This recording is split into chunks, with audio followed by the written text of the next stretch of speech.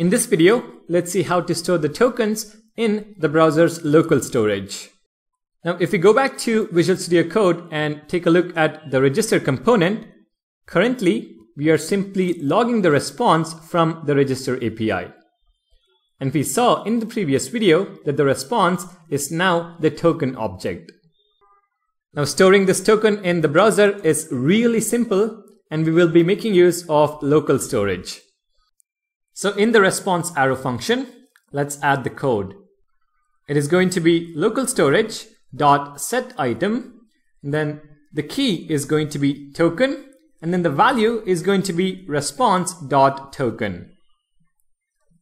And let's do the same in the login component. I'm going to copy the response arrow function, go to the login component, and then paste it.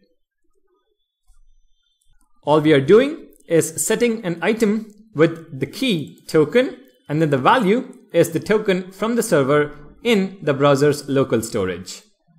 Let's go ahead and test it out. Open the browser and in the developer tools, go to the application panel.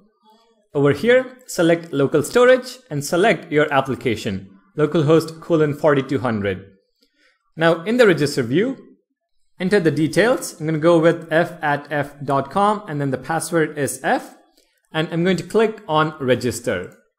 When the user is successfully registered, you should see a new item in the local storage with the key token and then the value is the JSON web token that is generated from the server.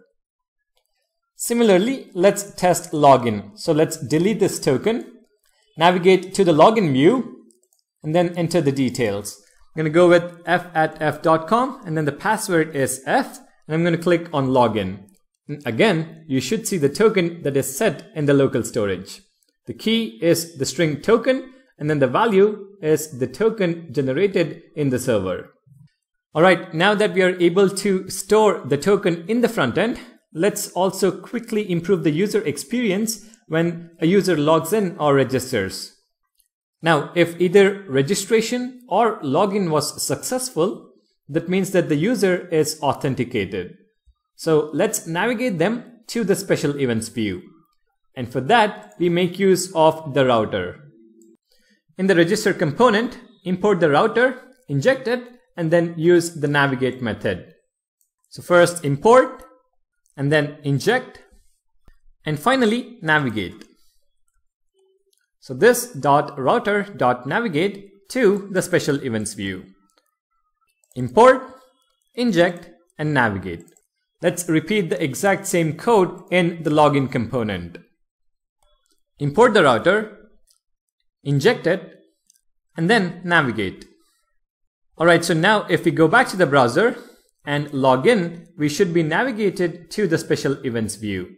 A at a.com, password is A, click on login, it's going to take us to the special events view. Similarly, let's also go back to the register view and test if it works. So register is going to be l at l.com, password is l, and click on register, and it's going to take me to the special events view.